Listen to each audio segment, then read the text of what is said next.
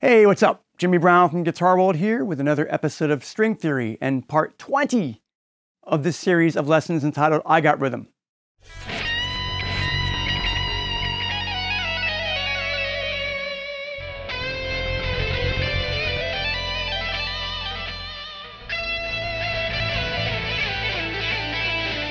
So far in our exploration of triplet subdivisions, we learned about eighth note triplets, which are three equally spaced notes per beat, and quarter note triplets, which are three equally spaced notes played across two beats. To review, quarter note triplets may be thought of as half-time triplets, as they're half as fast as eighth note triplets, occurring on every other eighth note triplet, and have that staggered slow motion quality to them. We're now going to venture in the opposite direction in rhythmic dimension and learn about a smaller and faster subdivision called the 16th note triplet, and its nearly identical or fraternal twin, the sextuplet, which has the same rhythmic value and duration. 16th note triplets and sextuplets may both be thought of as double time triplets, as they're both played twice as fast as eighth note triplets, with six evenly spaced notes per beat instead of three. What's interesting and cool here is that they can be phrased and, or factored three different ways. 16th note triplets occur as two three note groups, which link to a pair of even or straight eighth notes. Sextuplets can either be three groups of two, which relate to eighth note triplets with an extra note inserted between each one, or as just a straight six note group or row based on the downbeat.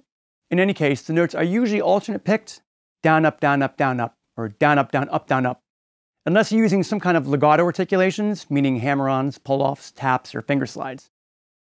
Let me demonstrate how this all works using a repeating C note on the G string's fifth fret. One and two and three and four and one and two and three. Triplet and triplet, four. Triplet and triplet, one and two and three. A triplet, a four. Triplet, a one and two and three. Triplet and triplet, four. Triplet and triplet, one and two and three. A triplet, a four. Triplet, a one. So we begin with slow, even eighth notes, counting one and two and one and two n. Then on beats three and four, we pick groups of 16th note triplets and count three triplet and triplet, four triplet and triplet, three triplet and triplet, four triplet and triplet. In bar two, we revert back to straight eighth notes for two beats, then switch to sextuplets, now counting three a tripletta, four a tripletta, one and two and three a tripletta, four a tripletta. You'll notice the two different accent patterns and beaming configurations used here in the notation with beat 3 of bar 2 encompassing three two note groups, and beat 4 being a straight 6.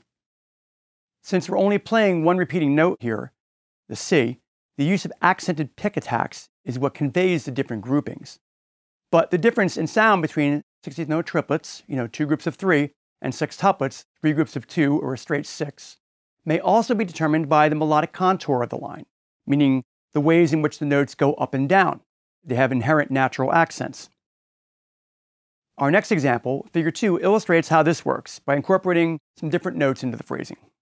1 and 2 and 3 and 4 and 1 and 2 triplet, 3 a triplet, a 4 triplet and triplet, 1 and 2 triplet, 3 a triplet, a 4 triplet and triplet, 1.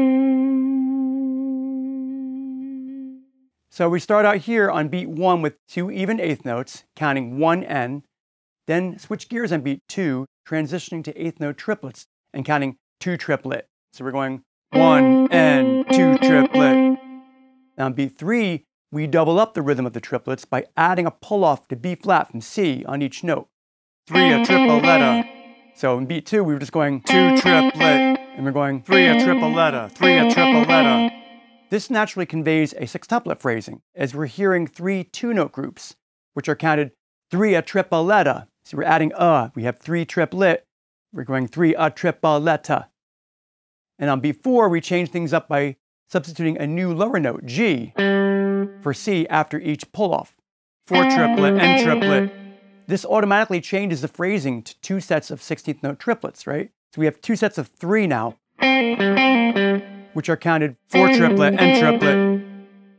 As a beneficial drill, you should try practicing alternating back and forth between beats three and four here in a continuous loop like this. three a triple letter, four triplet, and triplet, a triple letter, four triplet, and triplet, a triple letter, four triplet, and triplet. Kind of reminds me of a song, um, Blue Rondo a la Turk, famously recorded by uh, Al Jarreau and others. Figure three further exemplifies the distinctions between 16th note triplets and those two slightly different sextuplet groupings by incorporating additional notes that effectively dictate the phrasing patterns. We're playing six evenly spaced notes per beat throughout, and it's the melodic contour that demonstrates and determines the note groupings and how they're counted and beamed. Here's the example. One and two and three and four and one triple and triplet, two triple and triplet, three a triple letter, four a triple letter, one triple and triplet, two triple and triplet, three a triple letter, four a triple letter, one triple and triplet, two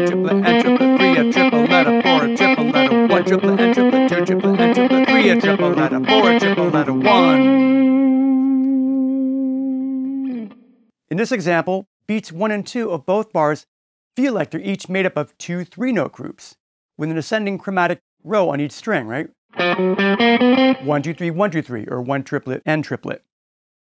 Beats 3 and 4 bar 1 sound like three two note groups with two notes toggling back and forth. 3 a tripletta, right? And finally, beats 3 and 4 of bar 2, the last bar, feel like straight descending sixes. One, two, three, four, five, six. Three a triple letter, four a triple letter. You count that as one a triple letter, or four a triple letter, four a triple letter. So experiment and have fun mixing and matching these interchangeable subdivisions in your own licks and melodies. I'm Jimmy Brown. See you next time.